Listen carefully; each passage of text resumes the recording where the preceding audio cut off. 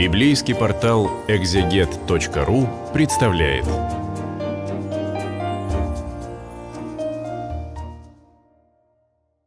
Сегодня на библейском портале «Экзегет» мы продолжаем наши беседы по посланию к Титу первоверховного апостола Павла. И сегодня мы будем читать э, вторую главу этого послания. Здесь апостол дает э, Титу указание верно исполнять свое служение. Это первый стих. Также идут э, конкретные указания, которые касаются различных категорий лиц, с которыми сталкивается Тит. Об этом со 2 по 10 стих. Далее Павел приводит обоснование этих и следующих указаний, это с 11 по 14, и заканчивает кратким наставлением, стих 15. Итак, первоверховный апостол Павел дает апостолу Титу, апостолу из числа 70, указание верно исполнять свое служение. И мы читаем, «Ты же, говорит, то, что сообразно со здравым учением». То есть служитель Христа, апостол Христа – да и просто христианин, должен говорить только то, что сообразно со здравым учением евангельским. И если верующий человек начинает говорить о каких-то глупостях, озвучивать какие-то фейки, какие-то конспиративные теории – или что-то подобное, это недостойно христианина. Христианин должен говорить о том, что является назиданием вере и может принести э, благословение для слушающих его. Святитель Аверкий Аушев, Таушев пишет, со второй главы начинаются наставления, как и чему должен учить пастырь верующих. Апостол говорит здесь, что старцев нужно учить быть степенными и здравыми в вере, старец, чтобы они одевались прилично и удерживались от клеветы, то есть от сплетен и пьянства, и наставляли молодых любить мужей, детей и быть целомудренными, юношей быть целомудренными, чтобы посрамить этим противников христианства. Почему это было все важно ввиду противников христианства? Потому что наши враги всегда ищут повод придраться к нам, и, как сказано в Писании, не подавайте повода ищущим повод. Теперь мы читаем вот это наставление со второго стиха и ниже. Здесь наставление старцам – старицам, юношам, наставление э, самому Титу и э, наставление к рабам. И вот в этом порядке со второго по десятый стих. Наставление э, старцам, чтобы старцы были бдительны степенные, целомудренные, здравые в вере, в любви, в терпении. То есть очень важно, когда а, пожилой мужчина, старец а, в возрасте, старец не в духовном смысле, а в физическом, возрастном, он был бы бдительным. О чем это? Пожилые люди иногда расслабляются. Им кажется, что времена их серьезных падений, они уже в прошлом. А они вот проживают времена доброй, тихой старости, и все пройдет благополучно. Но это не так. Надо быть бдительным. Как э, в народе говорят, седина э, в бороду, а бес в ребро. Поэтому пожилые люди должны быть э, бдительными, степенными, то есть вести себя соответственно этому возрасту, целомудренные. Казалось бы, к целомудрию надо призывать только юных людей, но это не так. Здравой вере. Сейчас вот э, многие говорят о том, что молодежь наша провалилась в интернет. Да, можно так сказать. Но пожилые люди провалились и в телевизор. Они воспринимают всю информацию, которая на них изливается э, с телеэкрана, как что-то абсолютно достоверное, не понимая того, что и в интернете, и на телевидении масса фейков, глупостей, провокационных сообщений.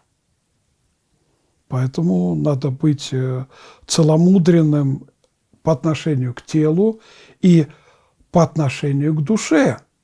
Поэтому и сказано здравой вере, в любви, в терпении. Терпение нужно пожилым людям, потому что эти люди чаще всего испытывают немощи возрастные, и терпение поможет им все это переносить все тяготы такого возраста. Теперь наставление старицам, то есть э, пожилым христианкам. Чтобы старицы также одевались прилично святым. Оказывается, у христиан был свой тресс-код, э, как одеваются святые, не так, как э, грешники. Что же может иметь в виду апостол Павел – Конечно, он имеет в виду то, что волосы, э, они э, скрыты. Э, в нашем народе есть такое выражение «опростоволосилось». То есть там без платка или что-то еще. Закрыты руки, кроме кистей. Шея тоже как-то прикрыта. То есть достаточно такой жесткий был тресс-код у христиан – он э, напоминает, кстати, исламское отношение к костюму. Старицы также должны одеваться прилично святым, не быть клеветницами. Вот э, пожилые женщины иногда это какой-то э, сгусток э, фейков и э, сгусток сплетен. Это очень не украшает пожилых женщин, не порабощались пьянству, то есть это угроза не только для мужчин, но и для пожилых женщин, учили добру. Далее. Чтобы вразумляли молодых любить мужей. Имеется в виду, что они должны вразумлять а, молодых христианок любить мужей. Любить детей – то есть проявлять э, деятельную заботу о них, быть целомудренными, чистыми, попечительными о доме, добрыми, покорными своим мужьям, да не порицается Слово Божие. Вот несколько тем перечисляется, которые должны озвучивать пожилые женщины по отношению к молодым женщинам, христианкам. Дальше наставление юношам Юношей также увещеваю быть целомудренными, во всем показывать себе образец добрых дел, в учительстве чистоту, степенность, неповрежденность, слово здравое, неукоризненное, чтобы противник был посрамлен, не имея ничего сказать о нас худого. То есть о нашей вере судят не только по э, священнослужителям, пастырям и архипастырям, по нашим пожилым мужчинам, пожилым женщинам, также по нашим юношам. И юноша христианский должен всем показывать себе образец добрых дел, то есть стать примером для других – в учительстве чистоту, а это о чем? Оказывается, юноши были проповедниками Слова Божия, скорее всего, среди своих сверстников. И очень важно, когда они а, эту проповедь подтверждали чистотой личной жизни. Степенность, неповрежденность, то есть цельность должны иметь. Наставление рабам, то есть в чем их надо увещевать.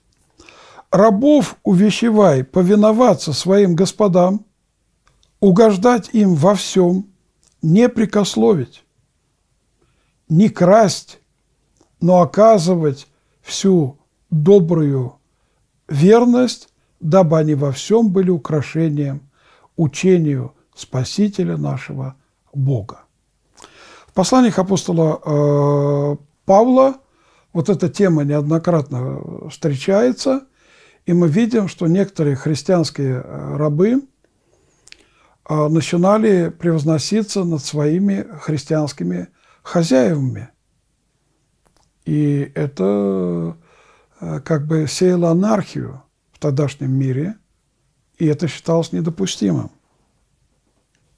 Вот эта фраза, чтобы старицы также одевались прилично святым, блаженный Ироним Стридонский объясняет, старицы также, то есть подобно старцам, во всем достойные трезвые, скромные, степенные, здравые в вере и любви, и терпение, соответствующие их полу, имели бы подражание святым, или лучше, как написано по-гречески, одевались прилично святым, чтобы также сами их походка и движение, и лицо, и слово, и молчание, и что угодно – являли достоинство святого облачения. Конец цитаты. Иногда видишь э, в Москве, там, в Санкт-Петербурге э, иностранных туристов, такие дедушки э, в шортиках, бабушки в шортиках, накрашены все, не только пожилые женщины, но и пожилые мужчины – и они все так молодятся, там, спортивной походочкой, там, подпрыгивают. Это неестественно.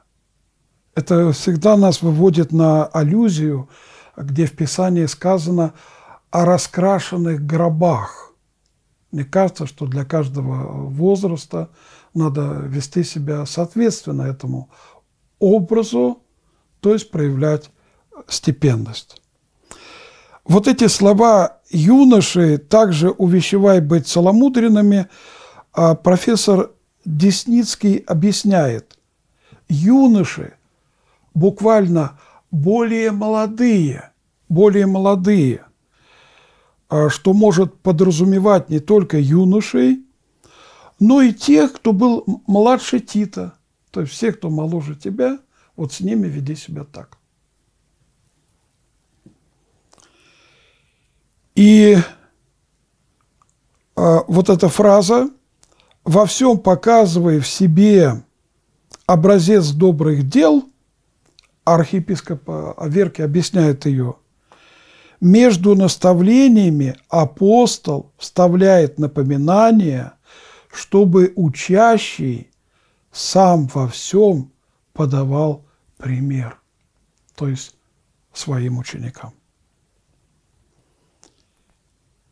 И это очень важно, э, когда человек, который э, проповедует Слово Божие, э, сам старается жить в соответствии с этим Словом. Как минимум, проповедник Евангелия должен заботиться о том, чтобы никогда не выходить на проповедь в состоянии греха.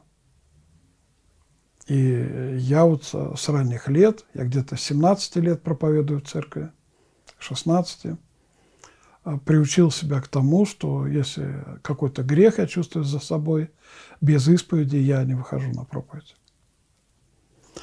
Дальше идет раздел с 11 по 14. Тут как бы обоснование этих и последующих указаний. С 11 по 14. «Ибо явилась благодать Божия спасительная для всех человеков, А о чем это? О том, что благодать Божия, она поможет нам сохранять чистоту, быть степенными, целомудренными. Ибо явилась благодать Божия, спасительная для всех человеков, научающая нас, чтобы мы, отвергнув нечестие и мирские похоти, целомудренно, праведно и благочестиво жили в нынешнем веке. Ожидая блаженного упования и явления славы великого Бога и Спасителя нашего Иисуса Христа, который дал себя за нас, чтобы избавить нас от всякого беззакония и очистить себе народ особенный, ревностный к добрым делам. Здесь Павел, который неизменно является проповедником благодати, то есть божественного милосердия, он э, как бы предъявил, он как бы предъявил требования э, к людям э, разного возраста, к старцам, к старицам, к юношам, к наставникам, э, к рабам. Он говорит, да, может быть, вы сами не справитесь с этими требованиями, но благодать Божия, которая спасительна для всех человеков, и для пожилых, и для молодых, и для наставников, и наставляемых, она поможет вам, она усовершенствует вас. Ведь э, Христос – это тот, который дал себя за нас в жертву имеется в виду, чтобы избавить нас от всякого беззакония и очистить себе народ особенный, ревностный к добрым делам. Здесь э, апостол э, подчеркивает, что силой благодати Божией, действием Христа, который очищает нас, мы можем только так усовершенствоваться. И сам Христос говорил, без меня не можете делать ничего. Архимандрит Иануарий Ивлеев писал, подводя итог того, что принесло нам явление благодати в Иисусе Христе, апостол напоминает нам о нашем искуплении, о том, что Иисус своим крестом выкупил нас из-под власти всякого беззакония, то есть из рабства греху. Более того, Иисус очищает нас, чтобы мы смогли стать народом особенным. Блаженный Феофилакт объясняет это слово «особенный». Он пишет, значит, свой, избранный, выделенный для себя, искупленные становятся новым народом Божьим, ревнующим о прекрасных, так буквально говорится, делах, то есть о совершенном образе жизни. Конец цитаты. И э, заканчивается эта глава кратким наставлением. «Сие говори», Павел пишет э, Титу, «Сие говори, увещевай и обличай со всякою властью, чтобы никто не пренебрегал тебя» архиепископ Аверкий Аушев пишет, апостол внушает неустанно об этом проповедовать со властью, дабы никто не пренебрегал им за беспечность в слове, если беззаконники, ничем и никем не обличаемые, станут открыто перед всеми бесчинствовать. То есть мы не должны подавать повода ищущим повод. Вот эту мысль мы должны носить в своем сердце.